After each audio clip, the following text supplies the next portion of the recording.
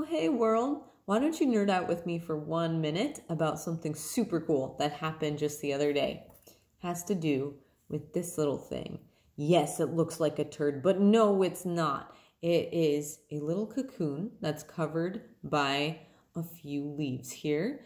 And I knew it was a cocoon, but I really didn't know what kind it was. So I asked a coworker who's very knowledgeable on the subject if they could identify it, and they couldn't get an exact species, but they knew it was a moth cocoon of some sort. So I was like, oh, yeah, that's really cool. Let's add it to the collection.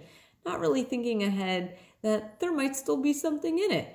So just a couple of days ago, and this is like six months plus later, that we had a little critter crawl out the other end. And we were introduced to this gorgeous little male polyphemus moth here. So, a little bit of background about Polyphemus moths. They get their name from the Greek mythology character Polyphemus, which was a giant cyclops with a great big round eye in the middle of his head. And much like the character, the Polyphemus moth has great big eye spots all over its wings. And these eye spots are actually used as a defense mechanism, oftentimes to confuse predators into thinking that they are maybe a larger animal than they really are. Especially on those hind wings, you can see how dark and pronounced those eye spots are. It almost looks a little bit like what an owl's eyes would look like. So that's the idea is that they're able to confuse those predators. So that being said, I feel like the Polyphemus moth is a rather large moth. It's actually one of the largest that we get here in North America. Their range goes all the way up north into southern Canada and all the way south into Mexico. With the exception of a few states, they are pretty much found everywhere.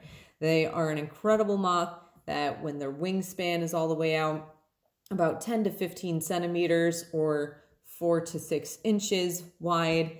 Uh, the males and females don't really differ in size all that much or color, uh, but the difference that you can easily tell male versus female is actually on their antennae there. So I don't know if that's in focus, but you can see that it's a very fluffy antennae and the antennae are used as almost like a like a way to smell. It's another sense that insects use oftentimes and the longer these little hair-like things are, the better it is at picking up the pheromones that the females put off when it comes time to mate.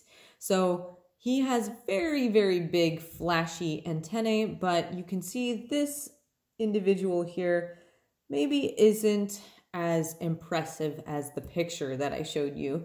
Now, it just so happens that when this moth hatched out, that its wings didn't develop properly and he is actually not able to fly. And I felt super bad about that. I didn't want him to, to be too easy of prey for something else. So naturally, I looked up, oh, what can you feed this moth? How can you care for it?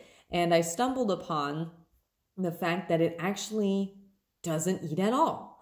And its mouth parts have been reduced. And a lot of times uh, with animals, you'll see that a trait that would normally be there, if it's reduced, it's actually called vestigial. It means it no longer serves a function on that specific animal there. So there are actually a few species of moths that don't have those mouth parts and do not feed as an adult.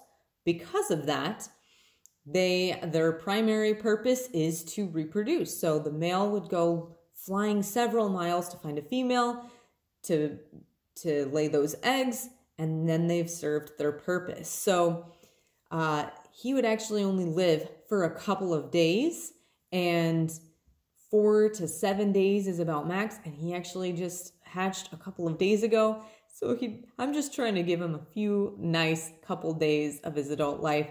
So he's not eaten. And I thought that maybe uh, by taking him to a moth garden, you know, you hear a lot about butterfly gardens, but you don't hear a lot about moth gardens. So I made a little moth garden here. Yes, it's a bunch of lamps.